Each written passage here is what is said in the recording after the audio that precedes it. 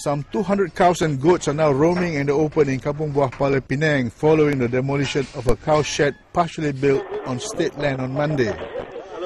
On October 14, another part of the cow shed which sat partially on the land belonging to Koperasi Pegawai Kerajaan Negeri Pulau Pinang Berhad was demolished.